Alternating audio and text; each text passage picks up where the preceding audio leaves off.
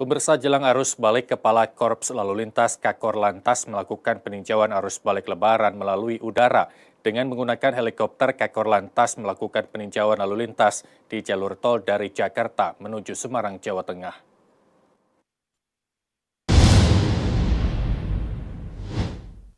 Kepala Korps Lalu Lintas Kakor Lantas Polri Irjen Firman Santiabudi memantau arus balik lebaran melalui udara menggunakan helikopter.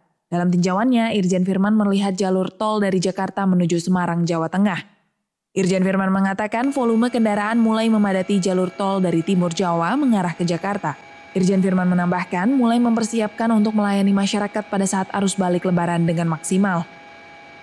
Ini artinya juga sekaligus sinyal kepada kami dan jajaran untuk mempersiapkan uh, masyarakat yang akan uh, melakukan arus balik untuk lebih uh, siaga lagi untuk menetapkan cara bertindak yang paling pas untuk uh, bisa kita uh, terapkan bagaimana kita nanti akan uh, pilih apakah masih tetap relaksasi menggunakan kontraflow atau nanti kita bangkitan sudah menggunakan full uh, one way.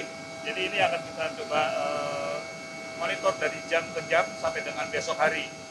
Informasi untuk percepatan hari ini sudah kita keluarkan dengan harapan masyarakat bisa betul-betul uh, menyimak, mengikuti informasi dari kami supaya jangan ada lagi masyarakat yang terjebak untuk menunggu dan lain sebagainya baik di pintu tol maupun jalan-jalan arteri.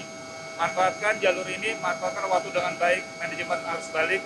Semoga selamat sampai di tujuan untuk kembali lagi pada aktivitas pada tanggal 9 nanti. Irjen Firman juga berpesan agar masyarakat tidak menunggu di pintu gerbang tol apabila terdampak kebijakan one way. Untuk itu, ia menyarankan agar masyarakat mencari jalur alternatif atau arteri yang ada. Adapun dalam tinjauan udara ini, Irjen Firman didampingi oleh Kaden Wal PJR Kakor Lantas Polri Kombes Pol Juni dan Direktur Operasional Jasa Raharja Dewi Aryani Suzana. Dari Semarang, Jawa Tengah, Nusantara TV, Andrianto melaporkan.